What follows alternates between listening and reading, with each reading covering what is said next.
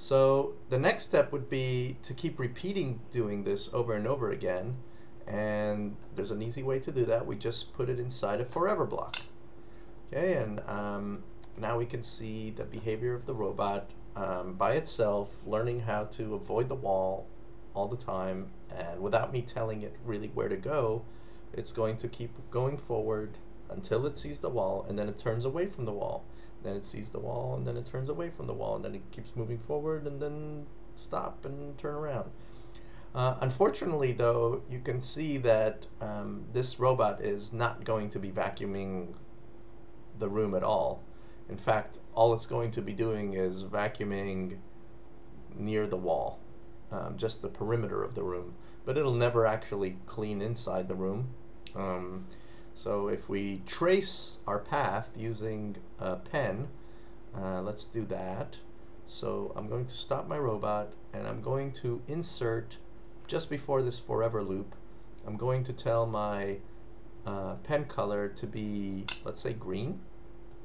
Um, black is a bit uh, obnoxious for trying to clean a room. It's going to look like it's messing a room. But uh, green will be our path where we're where we're where we're tracing um, where, where our robot has been. And we can see that, okay, we will have cleaned a little bit in the inside of the room where the robot started and moved forward.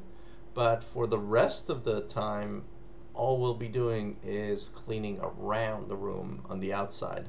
And we will never have vacuumed anywhere here, or here, or here, or here. We wouldn't have done any of those uh, areas. So not a very successful vacuum algorithm so now I want you to try to think of a different angle. Hopefully you've already done this. Um, but try to think of some other way to turn that isn't going to just you know trace the same line over and over and over again infinite, infinitely because um, this won't get us to to really clean the room so I'm gonna pause the video here and you try different angles and maybe we'll come back and talk about um, other options that we can have for you know, really doing this properly. But we're really close. Look, our robot is driving by itself and uh, forever avoiding walls. Uh, eventually it'll run out of battery, but we don't need to worry about that in a virtual robot.